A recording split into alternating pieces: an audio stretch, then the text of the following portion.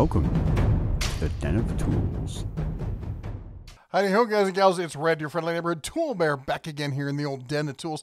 And today, yeah, we're talking about it again. I find it hard to believe, but yeah, we're talking empty shelves some more. Not just about the shelves that are empty right now, but the shelves that could be empty come this winter. Uh, it's some scary times going on, and there's some weird stuff going on. Let me tell you what's going on and why the the bear is going all alarmist alpaca on this. So there's a lot of news stuff going on right now, and if you read between the lines, this started back in April. Shortages that may happen again this year. We got the empty shelf crisis of 2021. Uh, many companies are facing a stockpiling dilemma as the pandemic influenced world continues. And this was from July. And this is actually the issue.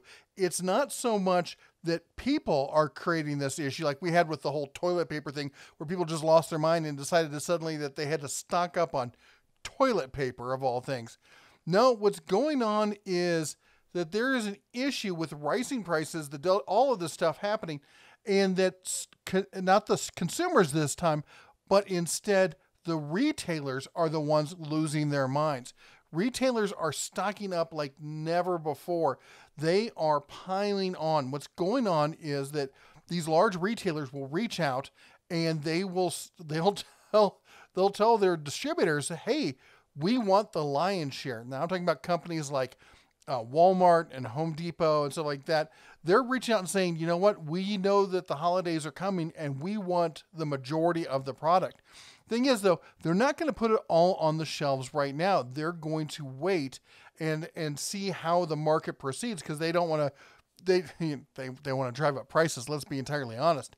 But the fact is that this is reports coming in that I've heard from several distributors that the large box stores, the bigger stores, are buying up all the supplies. And it's not just like it's not like they're all getting it. It's like Walmart's getting some of this and Kohl's is getting some of that and you know the you know Home Depot's getting some of these. So they'll have a whole bunch of one or two or three items, but they'll be missing out on a whole bunch of other stuff because these other stores got it and they're going to be trickling them out until they can feel that the whole just in time, you know, supply chain has gotten fixed.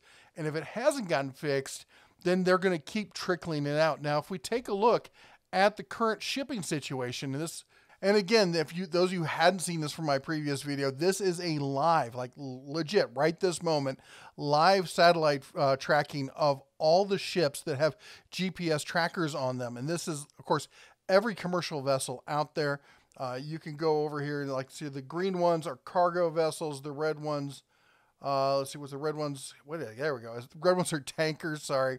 The blue ones are tugs and special craft. I think the pink ones are pleasure crafts. The orange ones are fishing. So you can see the they're you know where the channels are for uh, commercial traffic and such. But if you look at the port of, of California or down, or down in L.A., you look up in Seattle, you look at the Gulf. My gosh, look at the Gulf. Tons of stuff. And then, of course, we got all sorts of tugs. Those are moving. The tugs are moving uh, cargo in and up. This they they transition off of the freighters to uh, tug uh, tugboat chains. I guess I don't know what they call them, uh, going up and down the river. I should consider how long I lived along those rivers. Uh, look at the Great Lakes.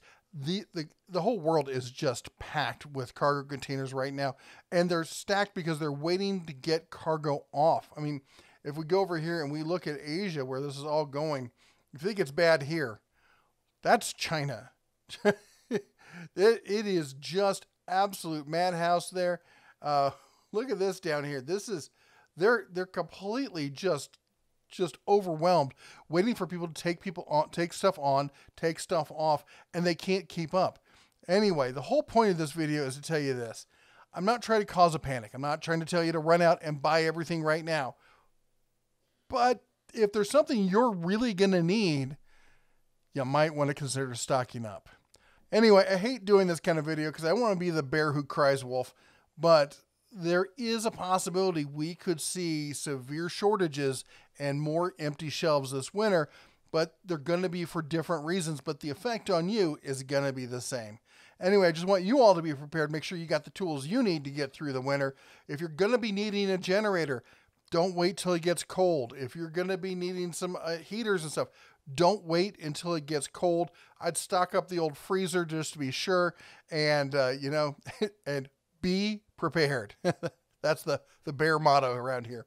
Anyway, let me know what you're going to stock up down in the comments. I'd like to hear about that. Are you are, do you have a generator? Are you planning to get a generator here? Uh, you know, what else are you looking to get and stockpile for this winter? Anyway, while you're down there in the comments, don't forget to chomp the old like button, smash that subscribe, ring the bell on your way out. You all take care. God bless. And as always, shine on.